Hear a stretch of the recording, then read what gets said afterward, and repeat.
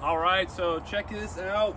You've got ivy on your tree and it's causing you some problems. Not only is it unsightly, but if it's left to do its own thing, it will travel all the way up the tree and go out over the leaves and inhibit the production of sugars in your tree, eventually killing it. Plus, the weight of the ivy out on the branches can cause even more problems for the tree. And for me personally, ivy is one of the worst things ever. If you look out around here, you can see a whole bunch of these trees, especially the one directly above where you guys are, is just completely covered in ivy and it's just choking all the trees out. So one of the ways to remove it, and I hear people say all the time they want to use poisons. Now, poisons are an effective solution, but really, if you can help it, herbicides aren't something we should be using at all. So we're gonna try and find ways to get rid of the problem without leaning on chemicals. So in this situation, I'm gonna show you one way to remove the ivy that works really well and is less labor intensive as other options.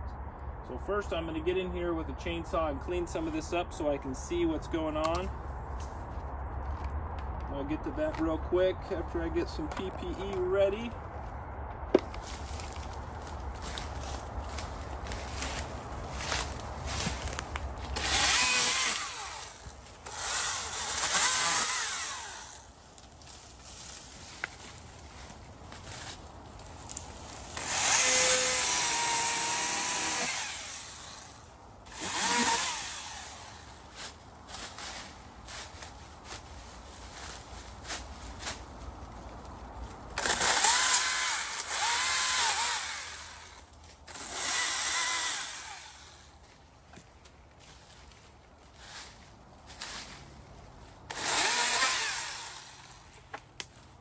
All right, so all that is just so I can gain access to the stems of the ivy and see what I'm working with. And man, right here in the middle, this is some serious ivy. Look how thick these, these stems are.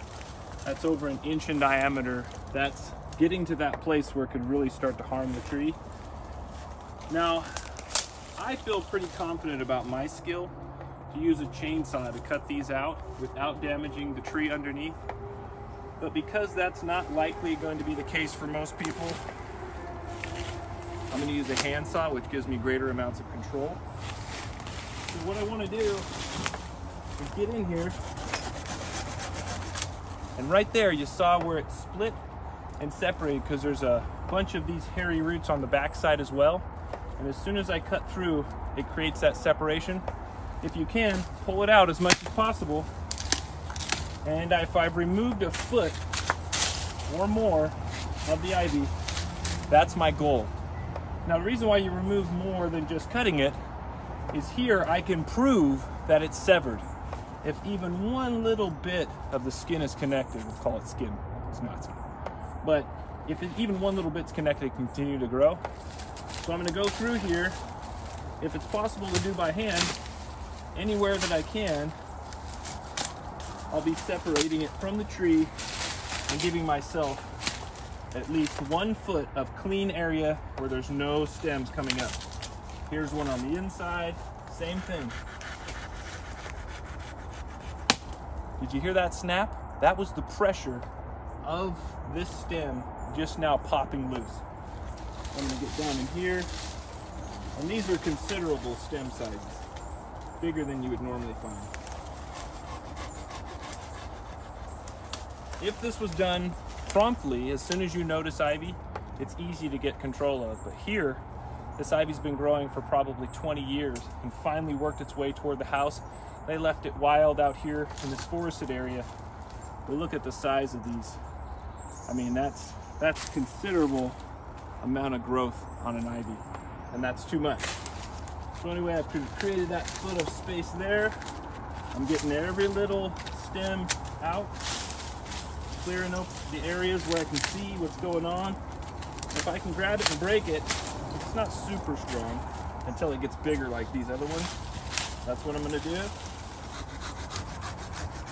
Right there, I didn't damage the bark of the tree underneath. And you can see that in these cuts. Here, here and there. I didn't damage the bark underneath. So that's why it's preferable to use a handsaw. So if you're a homeowner watching this, I recommend a handsaw like this. For professionals, if you use a chainsaw, you're, you're fine, but just be really careful. It's easy to cut all the way through and damage the tree underneath, and that's our goal is to protect the tree. So now I'm not going to go all the way and show you a finished product because I want this video to be short. But I am literally going to cut a path and clear it all the way around the tree. And make sure there are no no other stems of ivy all the way around. And once I create that path like that, then it's up to the homeowner to maintain that control by every periodically if they're not going to do something more with the rest of the ivy is make sure they pull it away from the tree and it doesn't climb anymore. So anyway that's that so if you have an ivy issue this is the way to get it if you want to do the least amount of work and get the most amount done now you could pay someone to climb this tree and manually remove the ivy which we've done and it's mostly about aesthetics so you want it to look perfect you just moved into a house you're gonna pay an arborist like us to go up in the tree and clean it all the way out. It's very labor intensive, that's why it's so expensive, and it's dangerous too anytime we climb. So this is a better method that you can do yourself. Once this is cut all the way around, this ivy will start to die, it'll turn brown. Once it's completely dead, these roots will lose their grip. So right now, they're, they're pretty stable. I can't move this section right here. But once this dies, I'll be able to rip that right off and most of the time, I'll, if it hasn't climbed too high, I'll be able to rip it all the way up into the tree and take the whole piece down all at once. And the longer I wait, the easier that is. So if you don't mind it taking a little bit more time, once you come across a situation like this, use this method. It'll work really well. It uh, will take some more time, but at the same time, way less effort and cost you way less money. So keep that one in mind and check in next time.